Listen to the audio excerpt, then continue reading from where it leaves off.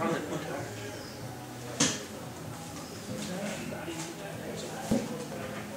I'm Josh. I didn't meet everybody last time. I think there's some new people here. Um, and uh, today uh, I'm going to show you about a Tinc. It's a mesh VPN, and uh, it is uh, ridiculously easy, um, and it's uh, pretty awesome. So, so I'm just going to dive in here. Oh, the uh, left and right buttons. Oh, okay, here we go. And uh, just a quick overview of a few things. Oh, wow.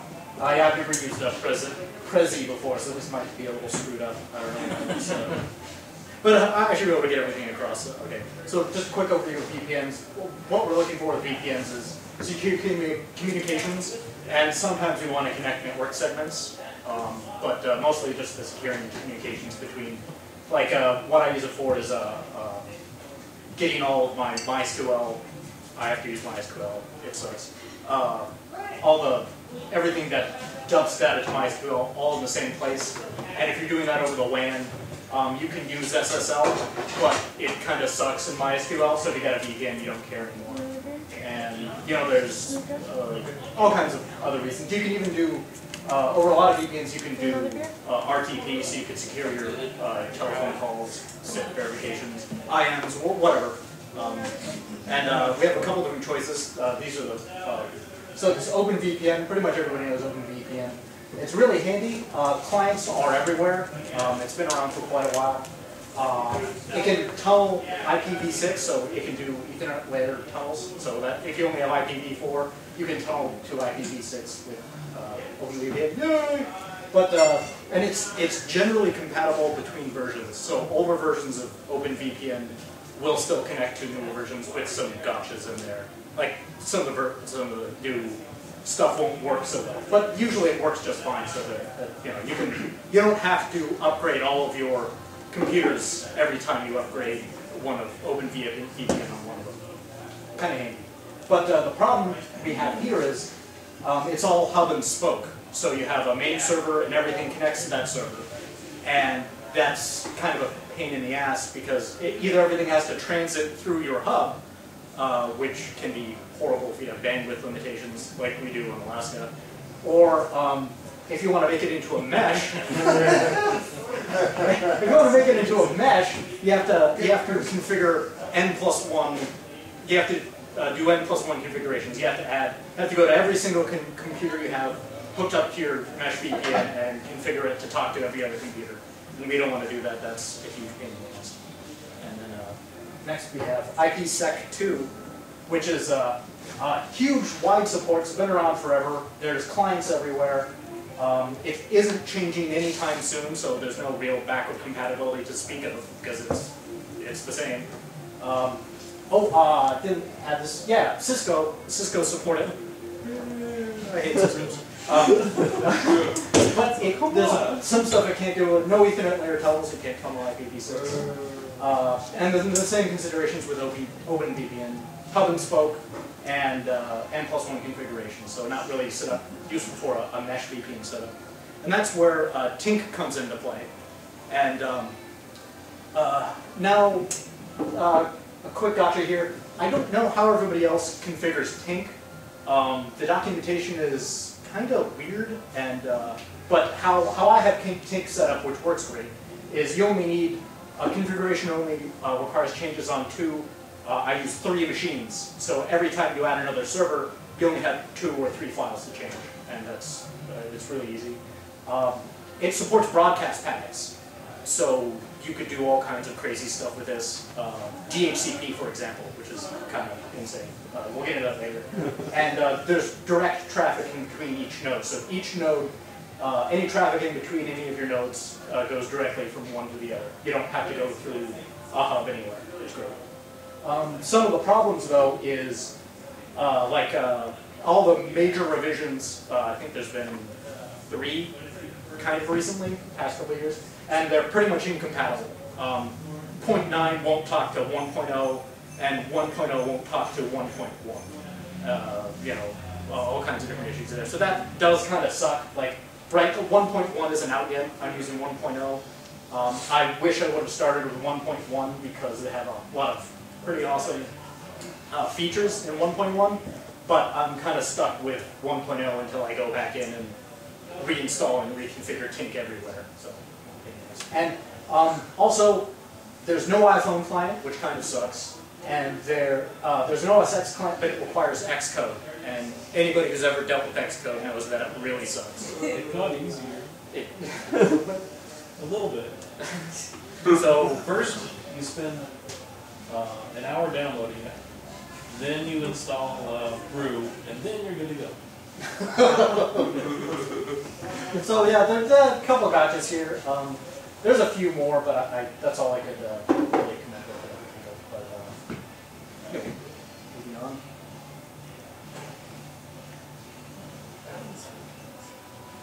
And uh, we, there's some other oh crap. There's even on the page. There's some other downsides, but we don't really care about them. Think about door. and uh, so like, uh, you know what? Uh, I might come back to this. Um, I probably should have done this.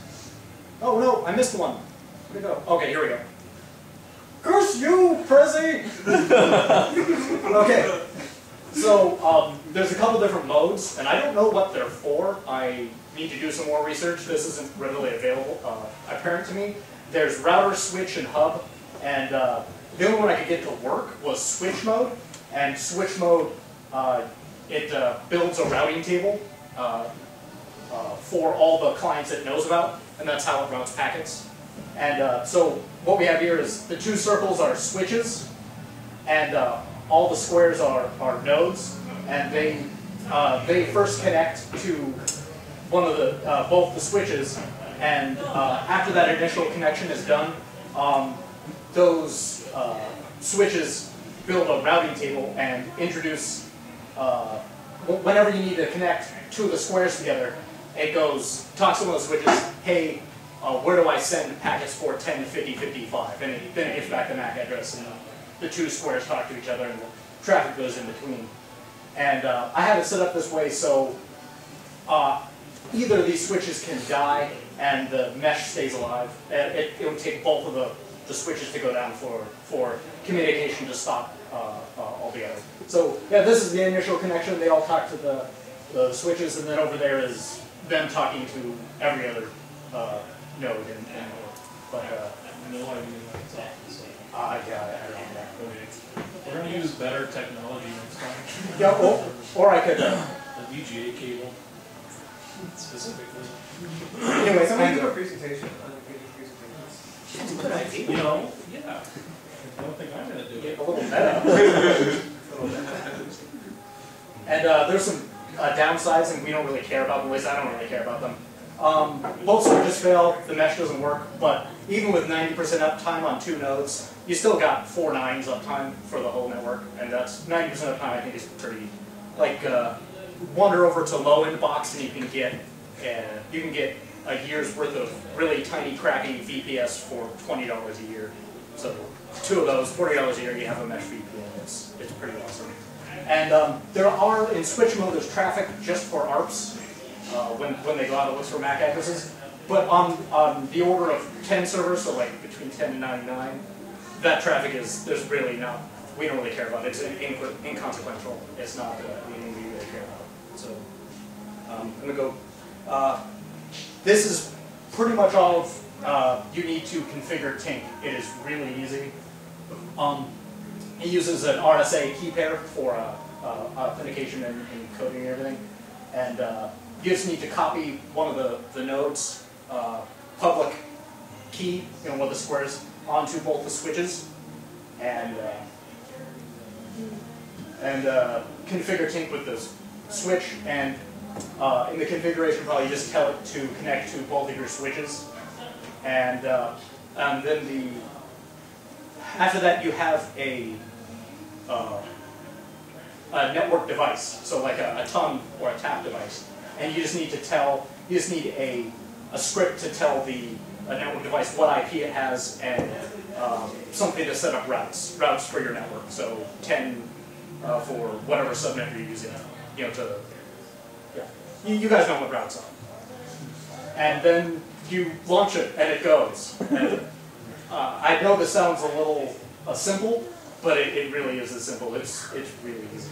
One of the simple things I noticed when I was using it initially was, uh, as soon as I added another node in, I just hooked the uh, systems that were dealing with all the proxying for the packets, and they immediately took in the, uh, the uh, connections without bringing anything down. It's all a single process, or it's a single process to do everything. So, uh, being able to just reconfigure things, uh, especially in Linux land without actually having to bring something up and down, uh, is a huge bonus and, and Tinc does.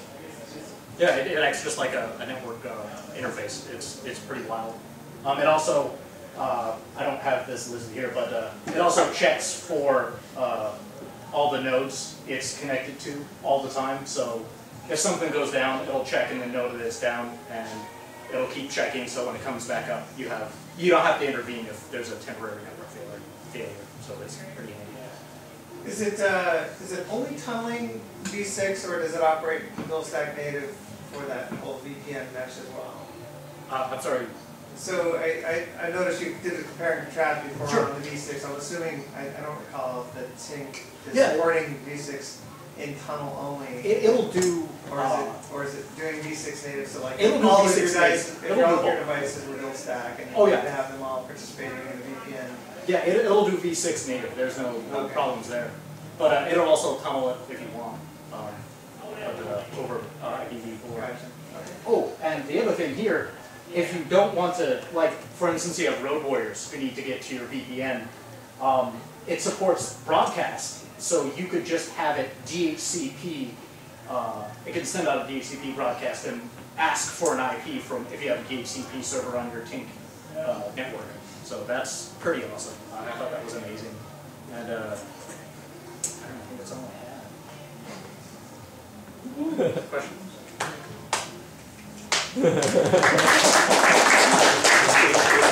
Um, I have a, uh, an objection. Well, um, I was talking to somebody a little bit about, uh, uh, some of the things we were gonna talk about tonight, and I mentioned your presentation particularly. And uh, they said, so why would he be doing MySQL or SIP, uh, over a VPN when he can secure it at the protocol level, and then it's just easier that way? And the answer is, because it's not easier that way. Those standards don't exist. like uh, in the latest in Debian Squeeze, the MySQL module for Python, um, SSL is broken. It, SSL does not work. You can't. I can't use it anymore. It's pissing me off. So I have Tinc now, and I don't care about it. So Uh, another, another aspect to that is, um, the agnosticism involved with using your own trans, uh, well, your layer two, your layer three transport, uh, data deduplication, compression, everything else like that before compressing it, um, is just not an option when you're just using IPsec or you're using, uh, well, you, there's IPComp of course, but it's very, uh, limited compared to using uh, better compression algorithms. And then, uh, you also have, uh, data dedupe, you have a few other things that you can do that someone could easily just build in a tank as a module, and then bam, you have it without having to change your applications that you're using at a production level. So, uh, that's, that's a huge boost for the open source side of things, Tank is open source. Uh, and, uh, they've been developing pretty steadily, and, uh, when you don't have an abandoned project in open source land, and it's powering production systems throughout the world, you know that something that, you know, someone did something right, so. Well, that's my two cents, I'm sorry. Yeah, extra cents for us, uh, uh, I don't think so. I think, I think I'm out.